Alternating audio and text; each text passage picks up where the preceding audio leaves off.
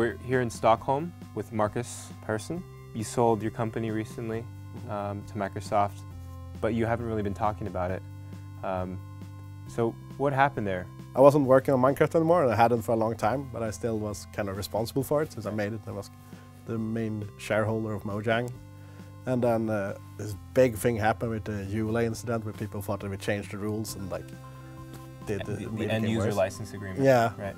Which had always been in place. But what actually happened was that some people brought it up, like, so we're not allowed to do this and that. And we said no. So we looked it over and actually made the, the rules more lenient. But people still got very upset with like me personally, even though I wasn't even working on it anymore. I just figured like I don't know if I want to put up with this anymore.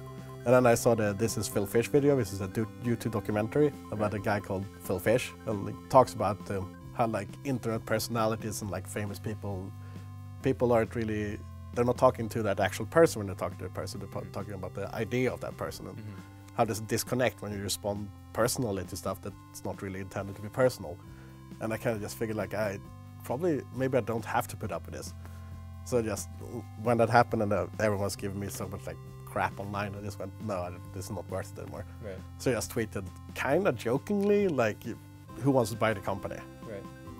Then a couple of days later, Carl, the CEO, uh, came by and said, we got a bunch of offers. Like, were you serious? Yeah.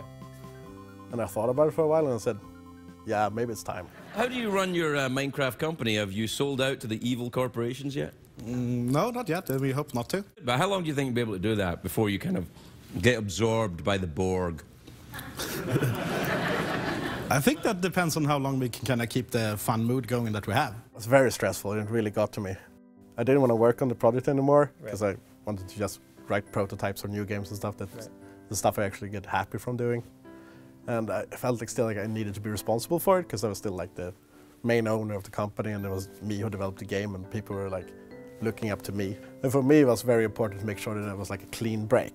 Like it wasn't like trying to like get some investor in, trying to grow the company and do like a big exit. Mm-hmm. It was more about getting it quick and easy and just get it done with. Right. So why Microsoft? They were the fastest and they made the most realistic offer. And you had a prior working relationship. Yeah, them. exactly. Right. Because we had an Xbox version going. So going back to this idea of, of you as a symbol, does this mean you're going to disassociate with Notch? I know that's a very popular online personality that you have, but do you separate yourself from that in any way? Well, that's hard to do because Yeah. it's kind of like uh, that's kind of like an identity that I use myself. Right. That's the difference between like me hanging out with friends and me like as a more public version, like online or whatever. So I don't think that's going to be uh, a difference. And it seems like because when I first uh, when we announced this and we- when we were gonna announce it, I was like I was completely certain I was gonna have to like shut down my Twitter because I thought people would be so upset. So I was kind of a little bit ready to give up on that personality, but it turns out people weren't that bad about it, or maybe just the relief, relief for me of having like actually sold made it easier to deal with. So I didn't have to do that break. And so these days, the commenters that do troll you, it seems like you, you hit back at them now. Sometimes, sometimes. Yeah. Usually I use the mute button, Uh. which is really efficient because they don't even know that we're blocked. It's just Right. mute. But sometimes I will reply because it doesn't really get to me as bad, bad as it used to. We're here at Rubber Brain. I know you, it's a temporary office and you're moving in a month, but what are you and Jakob doing here? It's honestly playing games mostly.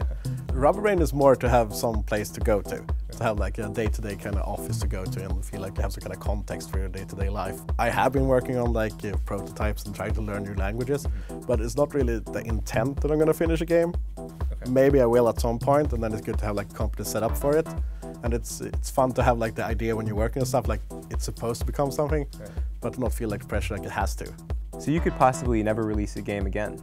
Yeah, and I would be fine with that. It was a long time when I was freaking out, like how do I follow up on Minecraft? It was really hard to deal with, like, uh, because it's the entire like big like cultural phenomenon. You can't manufacture that. Maybe now that I've analyzed it, I understand some of why Minecraft worked. Right. But that only means I know how Minecraft worked back in the time when the context was made in. Right. That doesn't mean I know how to do it again. I mean, I've been playing games forever and I've been programming since I was eight, so obviously I have some kind of experience in it, and I kind of I can understand kind of what's fun gameplay. But I didn't mean to make Minecraft a big success. To, to claim that I know the secret sauce would be kind of false. So there's a formula. No, I, I wasn't following a formula. I was trying to make a game. Nowadays, it seems like you're traveling a lot, maybe throwing some parties. I know you were throwing the parties uh, even before the sale. But is that something you're going to continue doing? I'm making up for lost time when I was at home just programming Yeah. throughout my 20s uh, and before that. And now I realized, oh, it's fun to go party. It's not a sane way to spend money, but it's fun. I figured like when I was uh, younger, I didn't have a lot of money at all. If I ever get rich, I'm not going to be one of those boring rich people who doesn't spend money. Right. I'm going to try to compensate by giving to charity as well so I feel better about myself, but that feels like cheating kind of. we'll see what I do with charity. I still haven't figured it out. Right now, I'm just, you know, buying houses in LA and partying. And how's the house going? Uh, it's going great. I've been there once for a couple of weeks, Yeah. But it's just really nice. I was a little bit scared it wouldn't feel like a home at first, but it did. It's a nice place to go on vacation though. The, the weather is kind of better than Sweden.